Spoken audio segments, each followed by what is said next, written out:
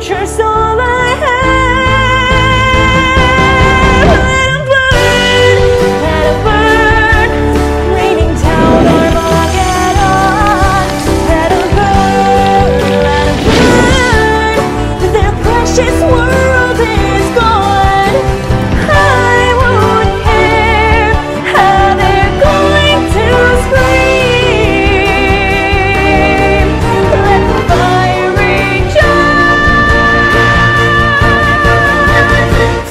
Never seemed to bother me.